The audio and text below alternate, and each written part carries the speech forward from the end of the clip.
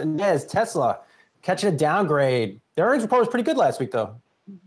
It was, but this uh, this analyst is saying purely on valuation, shares are overvalued shares right now are off their lows of the session right now. It's down, the, Tesla's down more than 1%. But Bernstein downgrading Tesla to underperform from market perform. And this is what the analyst wrote, saying Tesla's current valuation is mind boggling, unprecedented for a large cap stock outside of the tech bubble. Despite our relatively bullish stance on electric vehicle evolution, we find it difficult to justify Tesla's current valuation, even under our most bullish imaginative scenarios.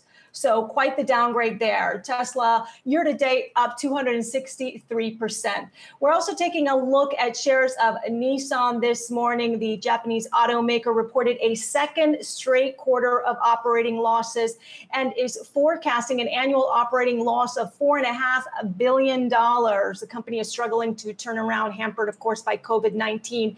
In May, Nissan unveiled a restructuring plan to reduce its production lines and also its models. And then then we're also looking at Shopify. Shopify up almost 2% after receiving an upgrade at Goldman to buy from neutral with a price target of 1,127. With the analyst writing that e commerce revenue will grow 29% this year. This will be a sustained tailwind for Shopify and its merchant solutions revenue.